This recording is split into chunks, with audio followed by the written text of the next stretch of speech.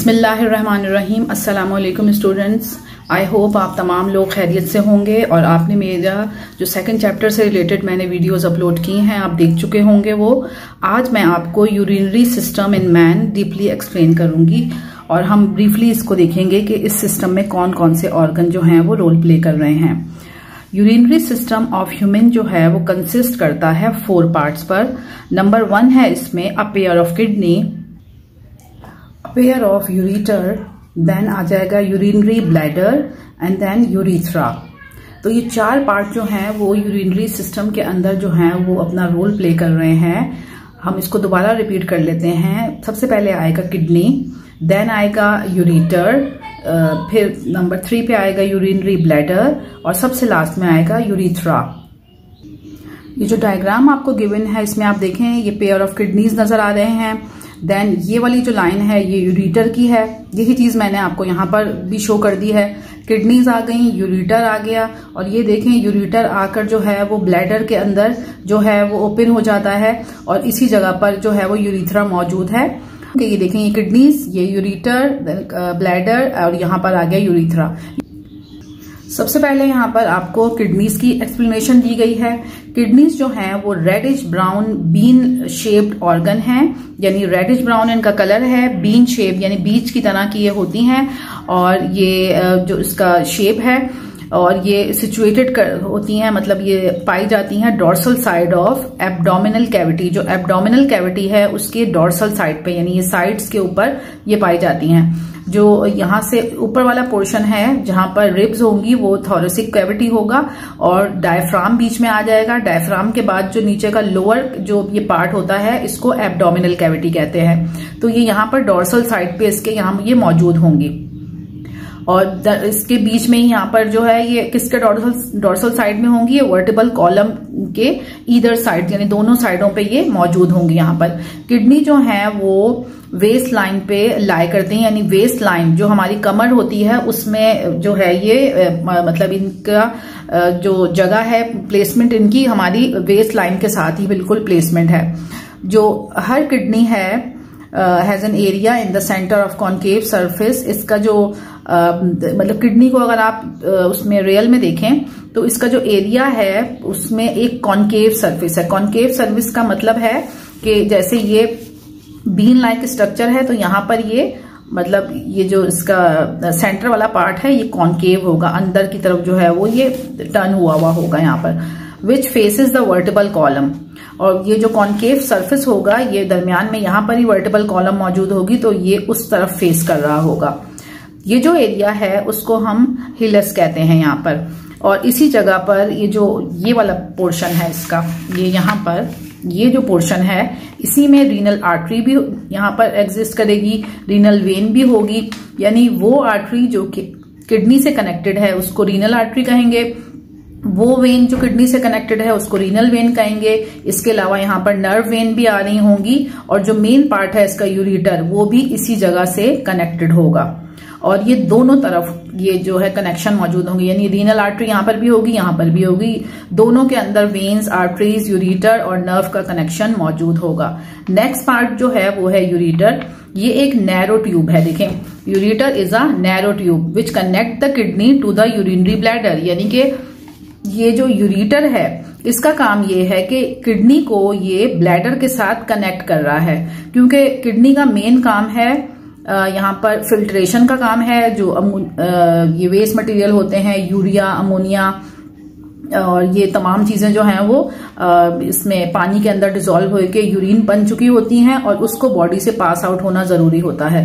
तो जितनी भी यूरिन की कलेक्शन होती है, वो यूरिटर के ज़रिए इस ब्लैडर में आती है। तो इट मीन्स कि ये ब्लैडर और किडनी दोनों के दरमियान एक कनेक्टिंग पाइप है। अगर ये मौजूद नहीं होगा तो यूरिन है वो इसके अंदर ब्लैडर के अंदर जो है वो मतलब ट्रांसफ़र नहीं किया जा सकेगा। ठीक है? तो यूरिटर क्या हो गई? एक नैरो ट्यूब हो गई जो कि कनेक्ट करती है किडनी को यूरिनरी ब्लैडर से। Urine passes through ureter to the urinary bladder यानी यूरिन इसी यूरिटर के ज़रिए जो है वो यूरिनरी ब्लैडर में आ जाता है।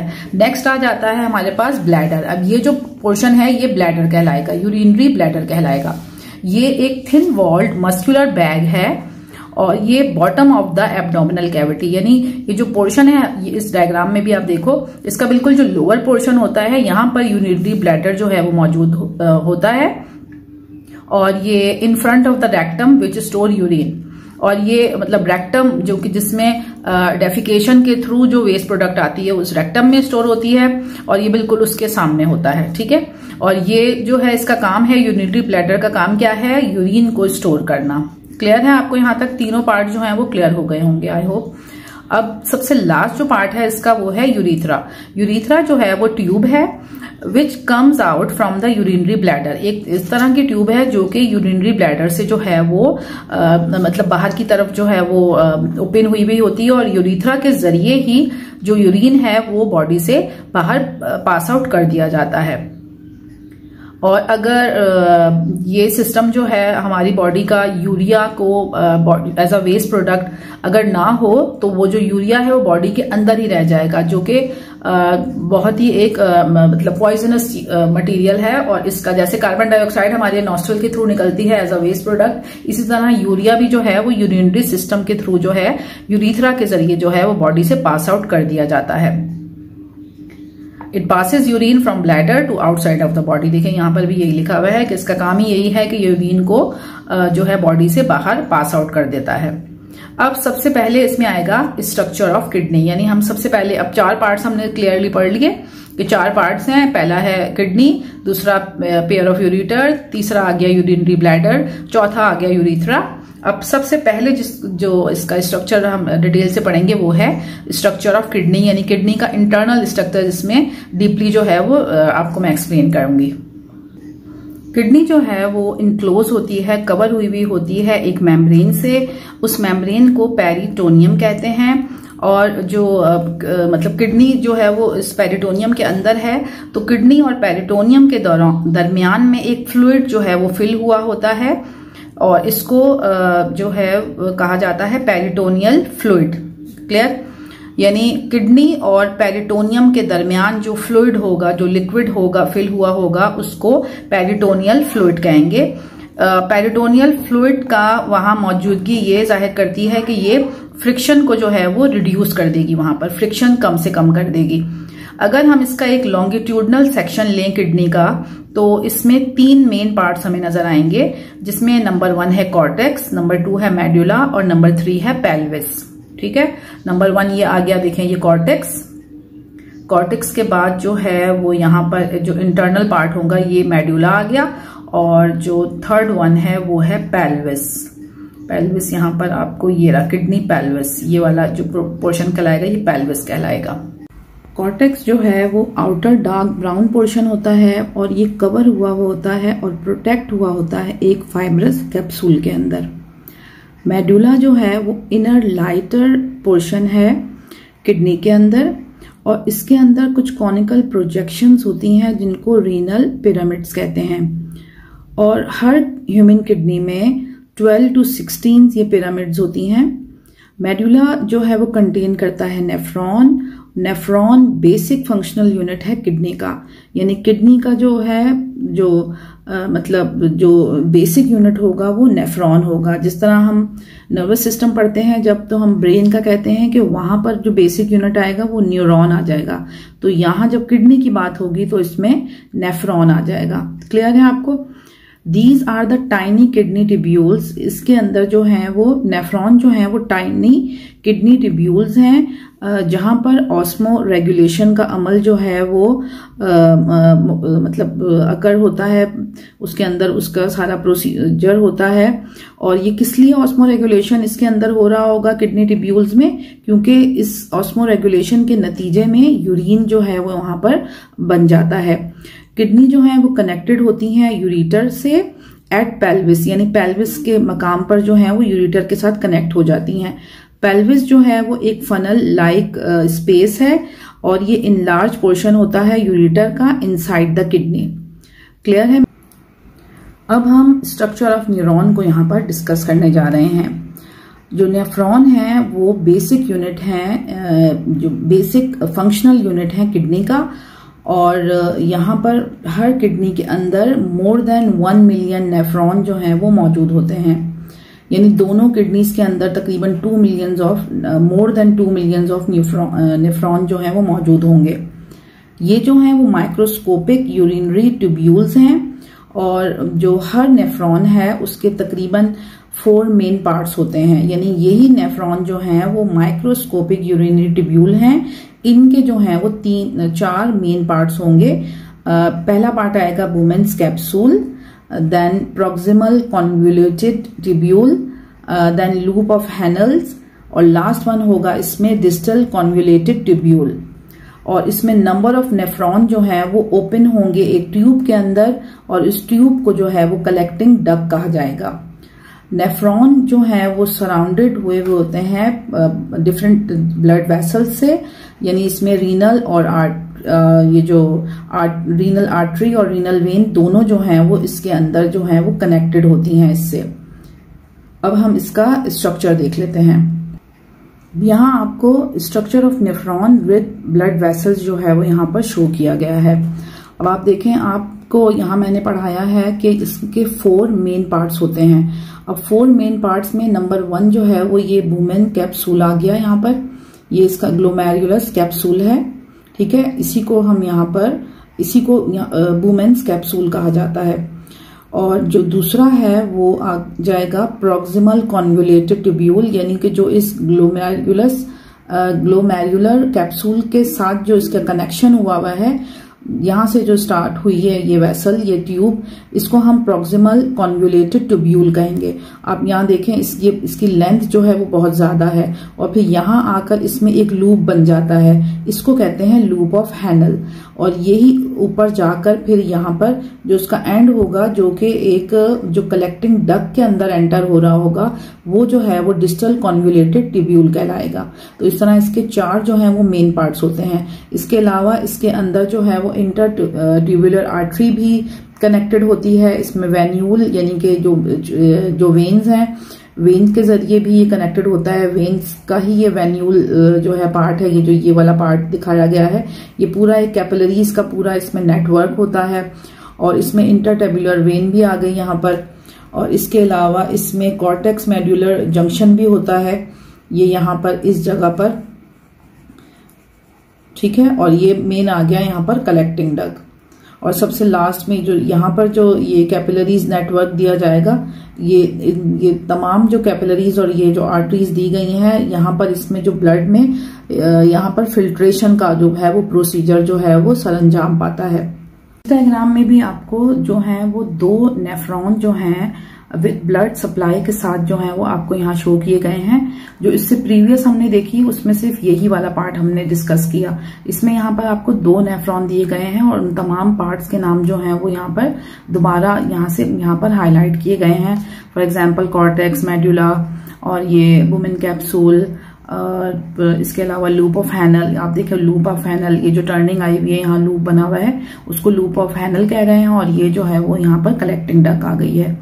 और नेक्स्ट पेज पे हमें फ़ंक्शन ऑफ़ नेफ्रॉन जो है वो गिवन है। यहाँ हमें फ़ंक्शन ऑफ़ नेफ्रॉन जो है वो चार पॉइंट की सूरत में बताया गया है।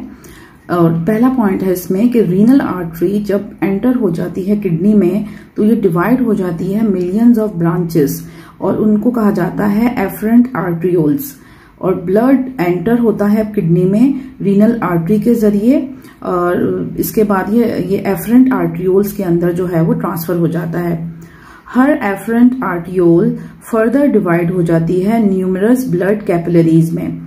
और ये तमाम ब्लड कैपिलरीज कहाँ होती हैं? वो वुमेन कैप्सूल के अंदर ही जो है वो तमाम की तमाम जो है वो ये ब्लड कैपिलरीज आकर जो है वो जमा हो जाती हैं या वहाँ पर ही उसको वुमेन कैप्सूल को सराउंड कर लेती हैं या उसके अंदर एंटर हो जाती हैं। कलेक्टिवली उसको कहा जाता है glomerulus Bowman capsule with glomerulus जब इन दोनों को नाम एक साथ लिया जाएगा, यानी वुमेन कैप्सूल विद ग्लोमेरुलस तो कलेक्टिवली उसको कहा जाएगा मेल्फिगियन बॉडी और renal capsule corpuscles sorry renal corpuscles कहा जाएगा फिर यहाँ पर इसको। और मेन चीज़ आप यहाँ देखेंगे ब्लूमेन कैप्सूल जो है वो कलेक्टिवली उसको कह रहे हैं हम ग्लोमेरुलस तो मतलब आप कह सकते हैं कि ये दोनों सेम ही चीज़ें हैं। और वुमेन कैप्सूल जो है, वो ग्लो ग्लोमेरुलस के साथ कलेक्टिवली उसको फिर मेल्फीगियन बॉडी का नाम दे दिया जाता है या फिर रीनल कैप्सूल्स का नाम दे दिया जाता है। थर्ड पॉइंट है इसमें, जो ब्लड ग्लोमेरुलस के अंदर जो है आ रहा होता है एफरेंट आर्टियोल्स के ज़रिए वो एंटर हो जाता है ब्लड कैपिलरीज में, क्योंकि ये एफरेंट आर्टियोल जो है, ये मेन आर्टरीज रीनल आर्टरी के ही फर्दर डिवीज़न है, और फिर उसी के बाद जो है वो ब्लड कैपिलरीज जो है वो फॉर्म हुई हुई होती हैं। तो जब एफरेंट आर्टियोल में ब्लड आएगा तो उसके बाद वो एंटर होगा ब्लड कैपिलरीज में, और ये सराउंड कर लेगा पूरे के पूरे नेफ्रॉन को। जब ही आपको यहाँ पर जो डायग्राम पीछे मैंने आपको शो की थी, उसमें पूरा आपको कैपिलरीज का एक जाल बिछा हुआ वहाँ पर नज़र आ रहा था। देन यहाँ क्या होता है कि ब्लड कैपिलरीज सराउंड करती हैं लूप ऑफ़ हैनल में से भी, यहाँ पर पूरे लूप ऑफ़ हैनल को भी इन्होंने कवर किया हुआ होता है ब्लड कैपिलरीज ने और ये unite to form a venule ये मिल के कंबाइन होके एक वेन्यूल बनाती हैं which ultimately join to form a branch of renal vein जो कि दोबारा से ज्वाइन होके रीनल वेन की जो है वो ब्रांच बना लेंगी, यानी कि रीनल वेन के अंदर जो है वो दोबारा से खून जो है वो ब्लड जो है वो एंटर हो जाएगा। क्योंकि जब ये नेफ्रॉन से ब्लड कैपलरीज में से गुजरेगा तो उस दौरान इसमें फिल्ट्रेशन और रीएब्जॉर्प्शन का जो अमल है वो मुकम्मल हो जाएगा। तो फिर ये दोबारा जो है वो रीनल वेन के ज़रिए जो है वो बॉडी को जो है वो हार्ट तक जो है वो दोबारा पहुँचा दिया जाएगा। अब यहाँ ये एक बात आपके समझने की है कि वैसे आपने ये पढ़ा होगा कि रीनल जो आर्टरीज होती हैं उनमें ऑक्सीजनेटेड ब्लड होता है और जो वेन्स होती हैं उसमें डी ब्लड होता है।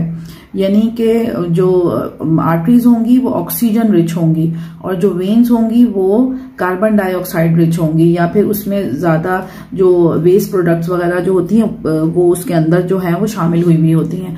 लेकिन अब यहाँ जो रीनल का जो ज़िक्र किया जाता है ना तो रीनल जो आर्टरी है, उसमें जो है, वो अपोजिट आप अपने माइंड में रखें कि रीनल जो आर्टरी होगी, उसके अंदर oxygenated blood sorry deoxygenated आएगा। और जो रीनल वेन होगी, उसके अंदर जो है वो ऑक्सीजनेटेड ब्लड जो है वो एंटर होगा और देन वो हार्ट को पहुंचेगा। और फिर हार्ट उसको पूरी बॉडी को जो है वो जो है वो सप्लाई कर देगा।